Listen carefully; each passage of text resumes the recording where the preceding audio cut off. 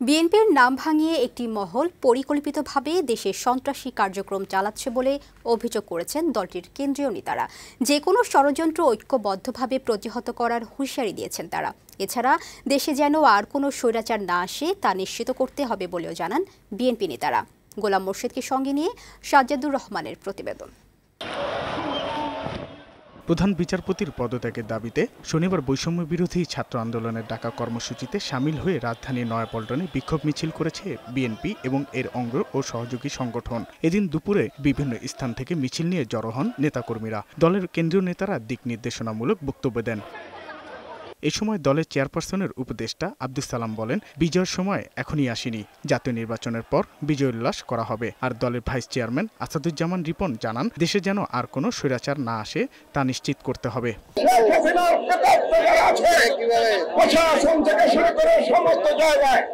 তাদেরকে বাংলাদেশের সমস্ত দায়, দায়িত্ব থেকে অব্যাহতি দিতে হবে। কারণ গণপ্রুত্থানের মধ্য দিয়ে পরাজিত শক্তির বাংলাদেশে কোনো ঠাই হতে পারে না। আগামী তিন মাস পরে নির্বাচন হবে। ইনশাল্লাহ সেই নির্বাচনে বেগম খালেদা জিয়ার নেতৃত্বে পরে নয়াপল্টন থেকে মিছিল নিয়ে প্রেসক্লাব পর্যন্ত যান বিএনপির নেতাকর্মীরা। এর আগে সকালে রাজধানীর মহাখালীতে মন্দির ও বক্কবিধি হাসপাতাল পরিদর্শন করেন বিএনপির ঢাকা মহানগর উত্তর শাখার আহ্বায়ক সাইফুল আলম নীরব ও উত্তর সিটির সাবেক মেয়র প্রার্থী তাবিত আওয়াল।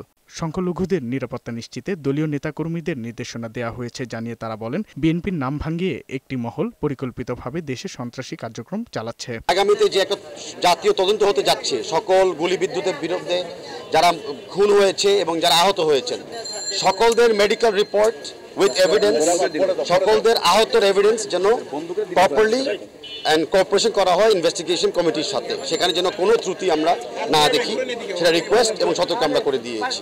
ছাত্র জনতার আন্দোলনে আহতদের চিকিৎসা সব রকমের সহযোগিতা করা হবে বলেও জানান তারা। সাজ্জাতুর রহমান, বৈশাখী সংবাদ, ঢাকা।